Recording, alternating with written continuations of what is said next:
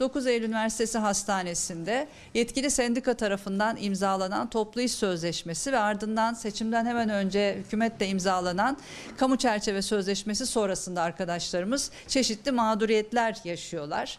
Ee, tam sayıyı net olarak bilmemekle birlikte 40'ın üzerinde bizim tespit ettiğimiz bir kısmı sendikamızın üyesi, disk üyesi olan e, arkadaşlarımıza açıkça toplu iş sözleşmesinin hükümlerinden e, ve toplu iş sözleşmesiyle elde edilen haklardan yararlandırmama tümüyle hukuku ayaklar altına alarak yararlandırmayarak bir sendikal baskı uygulanıyor. Öncelikle şunu ifade etmek isterim. Sendikalı olmak herkesin yasal ve anayasal hakkıdır. Herkes istediği sendikayı, bütün işçiler istediği sendikayı seçmekte özgürdür. Bu anayasayla güvence altına alınmış bir haktır. Hiç kimse kimseyi bir sendikaya üye olmaya da zorlayamaz, bir sendikadan istifa etmeye de zorlayamaz tamamen keyfi bir biçimde arkadaşlarımızın bu toplu iş sözleşmesinden faydalanmasını engellemektedirler. Haklarını ödemeyip işte geriye dönük ödemelerden e, normal ücretlerin hesaplanmasına kadar eksik hesaplayarak bir çeşit cezalandırma yöntemine giderek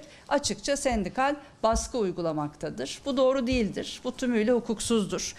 Daha önce başka hastanelerde yaşadığımız bu sorunları tekrar söylüyorum. Ya görüşme yoluyla ya da yargı yoluyla çözdük. E, bugüne kadar görüşmelerde e, bir ilerleme kaydedemedik. Görüşme noktasında kapıların kapandığı bir süreçteyiz. Buradan sizlerin aracılığıyla 9 Eylül Üniversitesi Hastanesi'ndeki bu süreci hem kamuoyuyla paylaşıyoruz. Hem e, sizlerin aracılığınızla bir kez daha 9 Eylül Üniversitesi yönetimini, hastane yönetimini bu arkadaşlarımızın yaşadığı bu haksızlığı, hukuksuzluğu gidermek üzere adım atmaya çağırıyoruz.